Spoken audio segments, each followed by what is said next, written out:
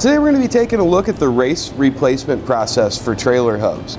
Now these races, you can see one right here, are designed to fit inside of your hub. They're going to allow your bearing a nice seat. So it's going to come in, it fits on there, this stays with the hub, this goes around your axle, and that's going to give us our rotation of our hub. So we don't have metal on metal contact. That's what the system's designed to do. Now these races over time are going to get fatigued. Let me take one of these out and I'll show you what I mean. Now the removal process of a race is typically going to involve a punch or a screwdriver that you don't like too much because we're going to be knocking on this with a hammer and typically you're going to deform that tip. That's why that one's been ground down a few times. Now with either method, we need to tap on the back side of the race. You can see this front race here, it's going to go in and there's a little lip in here behind it we're actually looking at the back of another race. You see this lip right down here? That's going to be our, our inner race, which is right here. So we'll start by getting that one out. So punch your screwdriver, and then we're going to start tapping on it. Now, whatever surface you're working on, it's a good idea to have a block of wood. It's going to kind of help keep this metal from hitting into the concrete or digging into grass or whatever you might be working on. You see, you just bring your punch down so it sits on the back side of that race, or bring your screwdriver down so it sits on the back side of that race, and we'll begin tapping. Now we're going to go side to side, forward and back.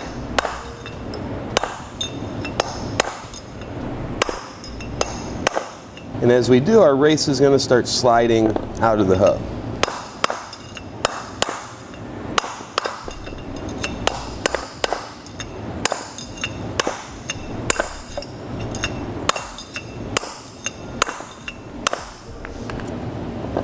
And see our race, it's almost out here to the edge.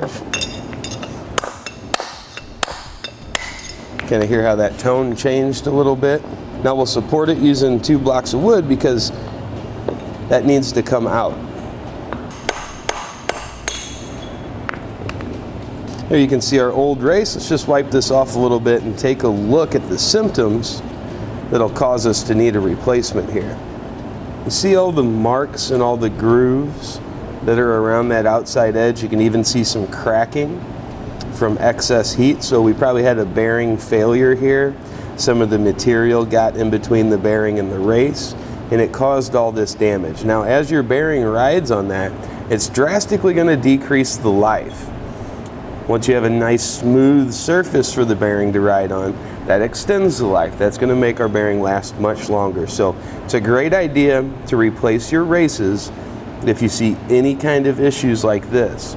Now this is going to work out great for just a low budget hub rebuild, but these replacement races also come in really handy in the situation that maybe your hub's gone obsolete and they don't make a complete replacement. You can still get the components you need to rebuild that and extend the life of your trailer. Now we'll do the same thing for our other side. Now inside there's a spot where our race is meant to seat right up against. You can see it's kind of like a little raised edge there.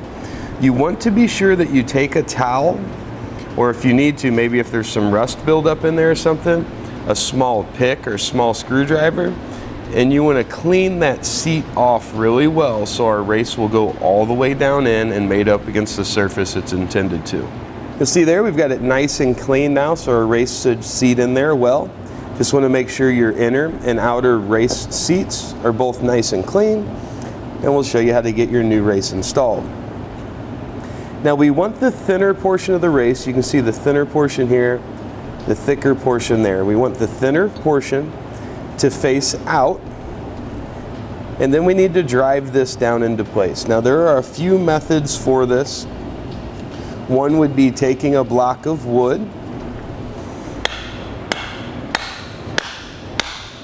You'll tap that until it comes down flush with the face of the hub.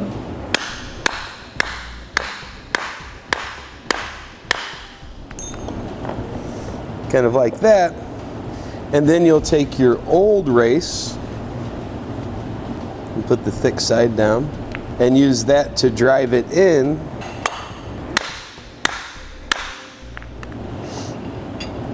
just a little bit further to where there's a small lip all the way around.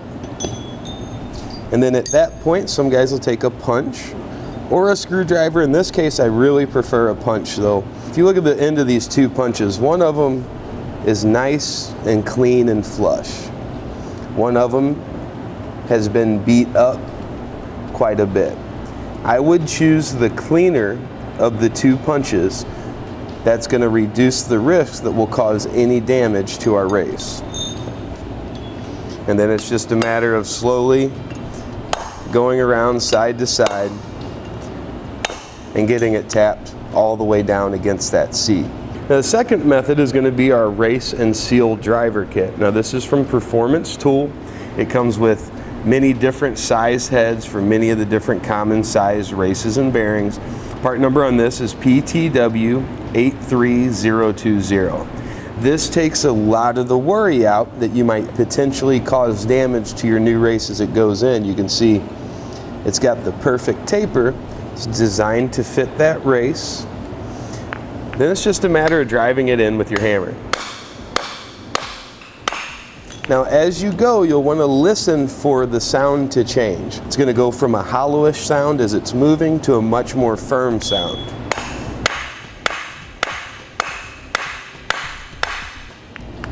Right there. Now we'll flip this over and we just need to check around the back side of our race to make sure it's all the way down against that seat. Now we're ready to do the other side. All right, now as you drive your races in, you can see sometimes they pull off just a little bit of the metal off the outside of the hub. So it's a really good idea at this point to make sure we get any of that out of there. And what we're gonna be left with is essentially a brand new hub. We've got our races put right in there. Our bearings are gonna have an excellent spot to go in and seat and that'll help us ensure we get maximum life out of our trailer we won't have any failures. That's going to complete our look at a race replacement process. You're able to replace your races in your hub rather than purchasing complete replacements.